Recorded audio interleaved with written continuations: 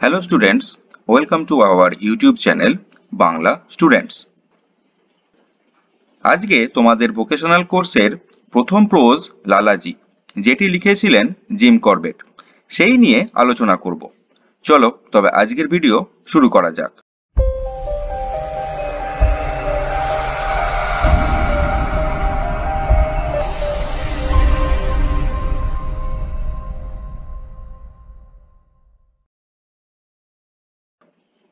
দেখো, প্রথমে তোমাদের এখানে লালাজি, জিম করবেট যিনি লিখেছিলেন তার সম্পর্কে এবং এই যে প্রোজটি তোমাদের দেয়া রয়েছে, সেটির সম্পর্কে ছোট্ট করে বলে দেওয়া রয়েছে দেখো, প্রথমে বলেছে Jim Corbett 1875 to 1955 was born in India and lived there for most of his life. Jim Corbett ভারতে জন্মগ্রহণ করেছিলেন, যিনি জন্মগ্রহণ করেছিলেন আঠারোশো পঁচাত্তর সালে এবং মারা যান উনিশশো পঞ্চান্ন সালে। এবং তার জীবনের বেশিরভাগ সময় তিনি সেখানেই বসবাস করেছিলেন। He wrote several books about his life in India তিনি ভারতে তার জীবন সম্পর্কে বেশ কয়েকটি বই লিখেছিলেন। Although British by birth he considered India his native country জন্মসূত্রে ব্রিটিশ হলেও তিনি ভারতকেই তার আদি দেশ বলে মনে করতেন। While working as an officer in the British Indian Army, he became famous as a hunter. British ভারতীয় সেনাবাহিনীতে অফিসার হিসেবে কাজ করবার সময় তিনি শিকারী হিসাবেও বিখ্যাত হয়েছিলেন he loved animals and was careful to kill only those that harmed human beings তিনি পশুপ্রেমী ছিলেন এবং কেবলমাত্র মানুষ ক্ষতিকারক প্রাণীদেরই হত্যা করতে সদা সতর্ক ছিলেন। It was through his efforts that the first wild life conservatory of India was established in nineteen thirty six তার প্রচেষ্টার মাধ্যমেই উনিশশো সালে ভারতে প্রথম বন্যপ্রাণী সংরক্ষণাগার স্থাপিত হয়েছিল। It was renamed in his honour after his death and is now known as Jim Corbett national park তার মৃত্যুর পরে তার সম্মানার্থে এটির পুনর্নামকরণ করা হয়, যেটি এখন জিম করবেট জাতীয় উদ্যান হিসাবে পরিচিত। এরপরে তোমাদের গল্পতে ছোট্ট করে একদম বলে দেওয়া রয়েছে। দেখো, কি বলেছে? The present piece provides an example of Jim Corbett's love and respect for the poor folk of India বর্তমান পাঠ্যাংশটি ভারতের সাধারণ দরিদ্র জনগণের প্রতি জিম করবেটের ভালোবাসা এবং শ্রদ্ধার একটি উদাহরণ সরবরাহ করে। It is to them that he dedicates My India nineteen fifty two the book from which the piece is taken তাদের কাছে তিনি তার আমার ভারত, যেটি লিখেছিলেন উনিশশো সালে বইটি উৎসর্গ করেছিলেন। যে বই থেকেই বর্তমান পাঠ্যাংশটুকু নেওয়া হয়েছে। Corbett work for Bengal and north western railway and was Bihar from eighteen five to nineteen sixteen Corbett Bengal এবং উত্তর পশ্চিম রেলপথের হয়ে কাজ করতেন এবং আঠেরোশো পঁচানব্বই সাল থেকে উনিশশো ষোলো সাল পর্যন্ত তিনি বিহারের মোকামাঘাটে কর্মরত ছিলেন। The incident described here took place during that period. এখানে বর্ণিত যে ঘটনাটি, সেটি সেই সময়তেই ঘটেছিল। এরপরে চলে আসব তোমাদের মূল গল্পতে কি বলে দেওয়া রয়েছে।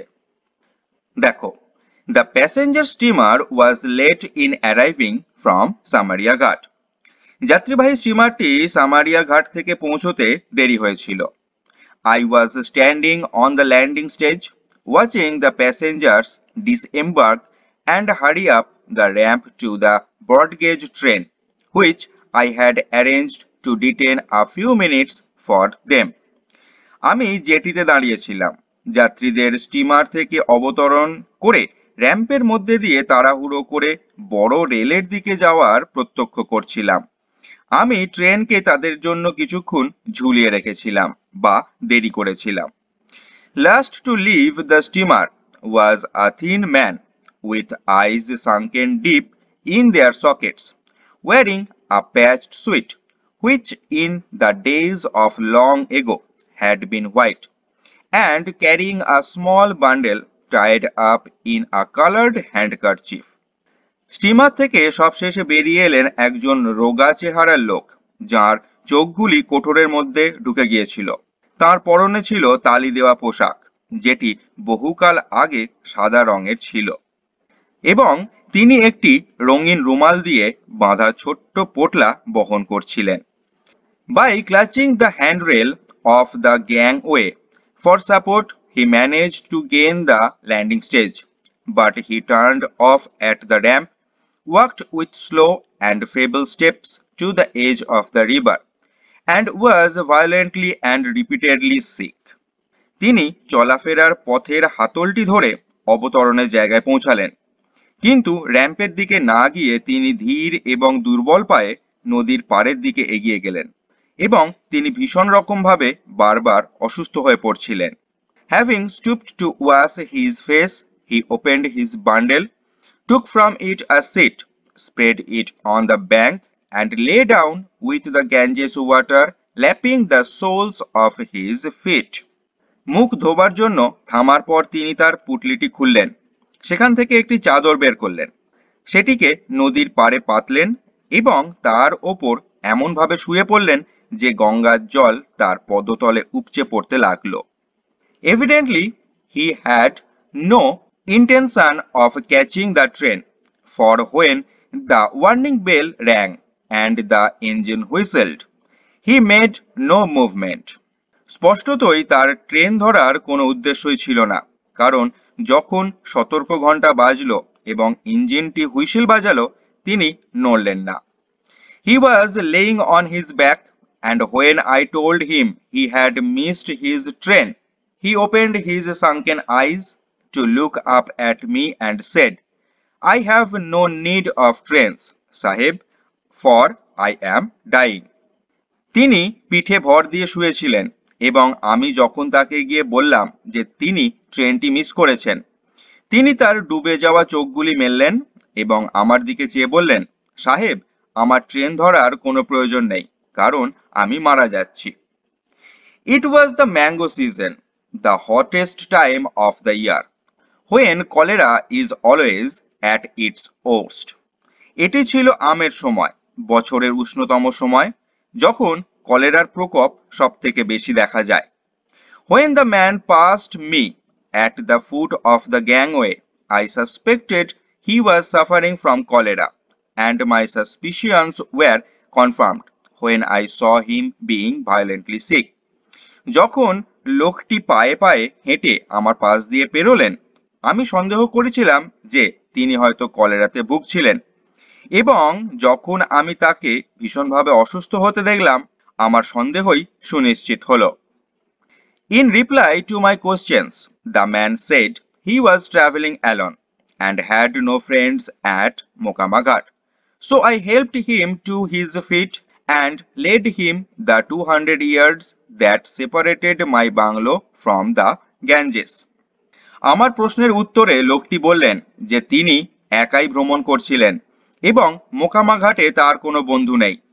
তাই আমি তাকে হাঁটতে সাহায্য করলাম এবং দুশো গজ পেরিয়ে যেতে সাহায্য করলাম, যা আমার বাংলো বাড়িটিকে গঙ্গা থেকে আলাদা করেছিল। Then I made him comfortable in my punkah coolie's house which was empty and detached from the servants quarters তারপর আমি তাকে আমার পাখার বাতাস করা কুলির ঘরটিতে আরাম করতে দিলাম। যে ঘরটি শূন্য ছিল এবং আমার ভৃত্যদের বাসার থেকে বিচ্ছিন্ন। I had been at Mokamaghat ten years employing a large labour force আমি মোকামাঘাটে দশ বছর কাটিয়েছিলাম এবং এক বিশাল শ্রমিক বলকে নিযুক্ত করেছিলাম।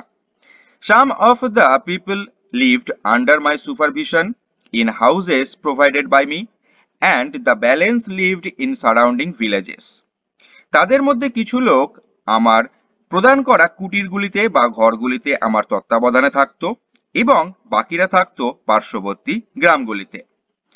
I had seen enough of cholera among my own people and also among the villagers to make me pray that if I ever contracted the dreadful and foul disease some good Samaritan would take pity on me and put a bullet through my head or give me an overdose of opium. আমার নিজের শ্রমিকদের মধ্যে এবং গ্রামবাসীদের মধ্যে আমি কলেরার প্রকোপ যথেষ্ট দেখেছিলাম এবং এটি আমাকে এই প্রার্থনা করতে বাধ্য করেছিল যে যদি কখনো এই ঘৃণ্য এবং জঘন্য রোগটির প্রকোপ আমার মধ্যে দেখা যায়, তবে যেন কোনো প্রকৃত দয়ালু ব্যক্তি আমার প্রতি করুণাবশত আমার মাথায় বুলেটের একটি গুলিবিদ্ধ করেন অথবা যেন আমাকে অতিরিক্ত মাত্রায় আফিম সেবন করিয়ে দেন few will agree with me that of the tens of thousands of people reported as having died of cholera each year, at least half die not of cholera but of fear. খুব কম লোকেই আমার সঙ্গে সম্মত হবেন যে হাজার হাজার লোক প্রতি বছর যারা কলেরায় মারা যায় বলে বিবৃত হয় তারা অর্ধেকেই মারা যায় কলেরায় নয় বরং আতঙ্কে who live in India as a distinct from those who visit the country for a longer or shorter period. The fatalists believing that a man cannot die before his allotted time. আমরা যারা ভারতবর্ষে বসবাস করি, তাদের থেকে স্বতন্ত্র যারা স্বল্প বা দীর্ঘকালের জন্য সাক্ষাৎ করতে আসে, সেই আমরা হলাম অদৃষ্টবাদী এবং আমরা এটা বিশ্বাস করি যে একজন মানুষ তার বরাদ্দ সময়ের পূর্বে মারা যেতে পারে না। This, however, does not mean that we are indifferent to epidemic diseases. এটা তার মানে নয় যে আমরা মহামারী রোগগুলি সম্পর্কে উদাসীন। Cholera is dreaded throughout the land and when it comes in epidemic form as many die of stark fear as die of actual disease সারা দেশেই কলেরা হলো আতঙ্কের কারণ এবং যখন এটি মহামারী রূপে আসে, তখন যত লোক এই প্রকৃত রোগের কারণে মারা যায়, ততজনই মারা যায় সম্পূর্ণ ভয়ে there was no question that the man in my punkah coolie's house was suffering from a bad attack of cholera and if he was to survive his faith and my crude treatment alone would pull him through. For the only medical aid within miles was a brute of a doctor.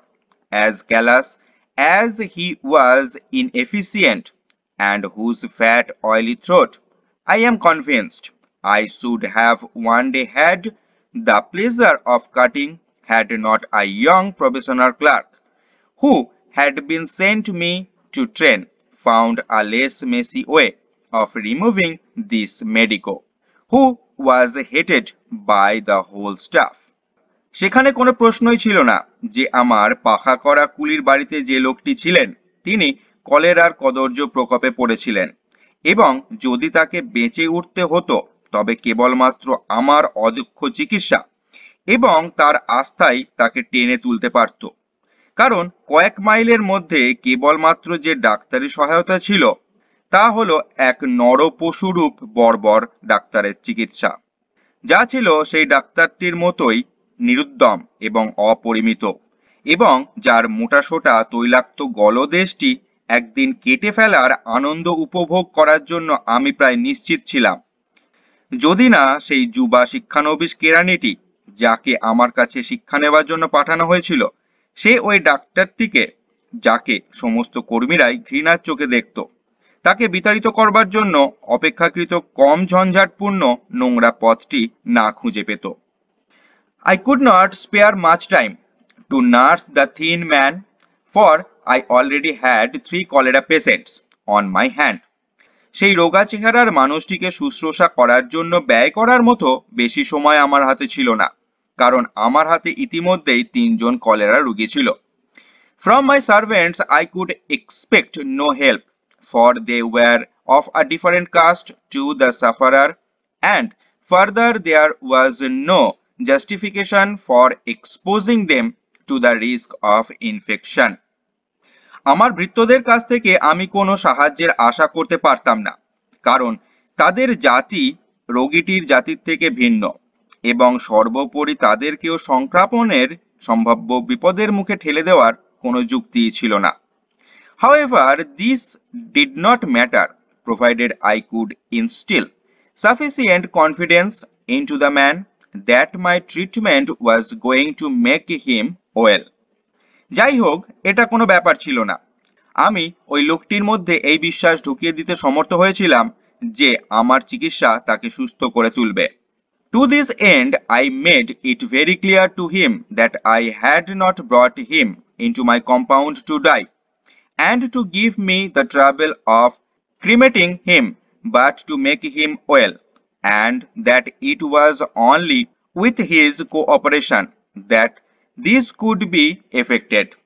এই ক্ষেত্রে আমি তার সামনে এই বিষয়টি স্পষ্ট করে দিয়েছিলাম যে আমি তাকে এখানে আমার প্রাঙ্গণে মরবার জন্য নিয়ে আসিনি বা তার শবদাহ করবার জন্য নিয়ে আসিনি নিয়ে এসেছি তাকে সুস্থ করবার জন্য এবং এটি তার সহায়তা নিয়েই ফলপ্রসূ হবে That first night I feared that in spite of our joint efforts he would die, but towards morning he railed, and from then on his condition continued to improve, and all that remained to be done was to build up his strength, which cholera drains out of a human body more quickly than any other disease.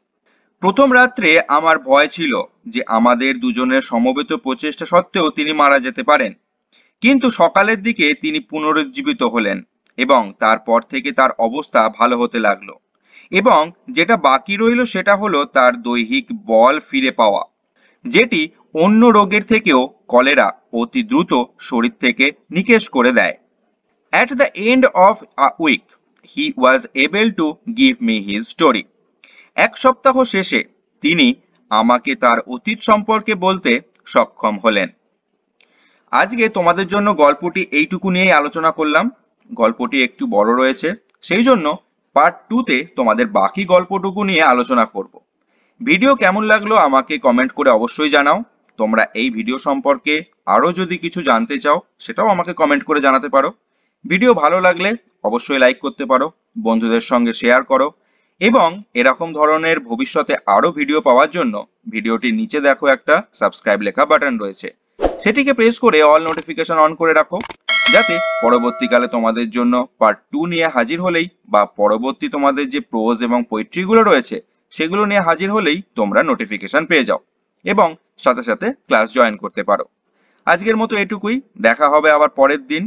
ততক্ষণের জন্য সবাই খুব ভালো থাকো, সাবধানে থাকো, সুস্থ থাকো। আজকের জন্য টাটা।